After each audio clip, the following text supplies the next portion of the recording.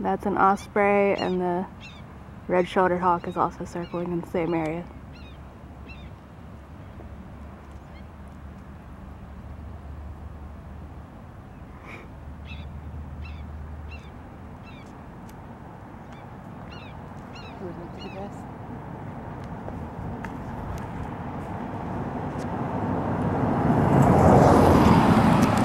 Camera, are you gonna just get even more out of focus the more I zoom in?